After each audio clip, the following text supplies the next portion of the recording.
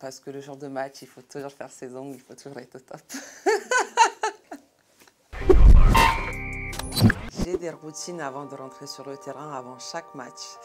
C'est assez long. Quand on arrive dans le vestiaire, euh, j'aime bien préparer euh, mes petits morceaux de strap pour strapper mes doigts, euh, les, morceaux de strap pour mes chaussures.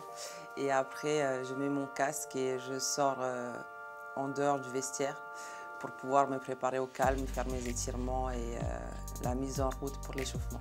Souvent, je ne suis pas trop stressée parce que le stress est négatif pour moi, personnellement. Et quand j'ai de la tension, je suis plutôt silencieuse et dans mon coin. L'équipe de France de handball, c'est une grande famille. On reste très, euh, très à l'écoute entre nous. Le jour de match, j'ai pas de planning précis. À part que le plus important toujours, c'est prendre mon petit déj quand je me réveille et euh, trouver un moment, que ce soit dans la matinée ou avant ma sieste, euh, de faire mes ongles. Parce que le jour de match, il faut toujours faire ses ongles, il faut toujours être au top. Pour évacuer ma pression, si c'est vraiment avant le match, c'est surtout la musique avec euh, mon casque. Et si c'est la journée que je sens que je suis un peu tendue pour X ou Y raison, c'est euh, me balader avec mes deux chiennes où ça me permet vraiment de vider l'esprit et de penser à autre chose et penser juste euh, au moment où on se balade et profiter de leur frais. Alors j'ai deux gros bébés, je les appelle c'est mes bébés.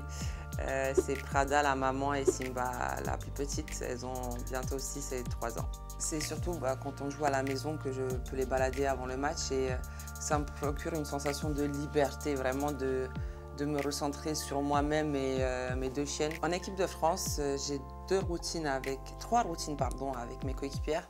Laura Flip, on se tape dans les mains toujours les, en, dernier quand on rentre sur le terrain. Sarah Bouktit, j'ai un check avec elle depuis que j'ai joué à Maison de Balle. Et Léna Granvaux, depuis que je joue à Nantes, j'ai aussi un check avec elle. Sarah Bouktit, c'est assez facile en fait. On, lève, on se touche les hanches et on redescend et après on fait ça.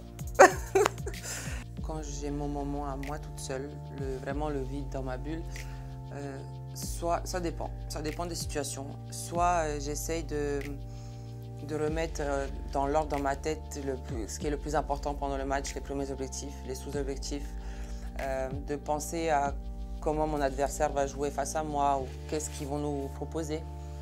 Ou sinon, vraiment, euh, à rien à voir avec le handball, c'est oh, mais qu'est-ce que je peux mettre la prochaine fois quand je vais aller dîner? C'est vraiment, ça dépend des, ambiances. J'avais un objet fétiche euh, il y a quelques années, c'était euh, ma chaîne en or avec laquelle je jouais, elle est toujours accrochée à ma brassière. Sauf que bon, je l'ai cassé quatre fois pendant un match, j'ai perdu tous mes pendentifs et je me suis dit ça commence à coûter cher quand même de racheter toujours une chaîne en or. Du coup, euh, bah, je la laisse dans le vestiaire, mais j'ai pas d'objet fétiche maintenant euh, que j'emporte avec moi sur le terrain.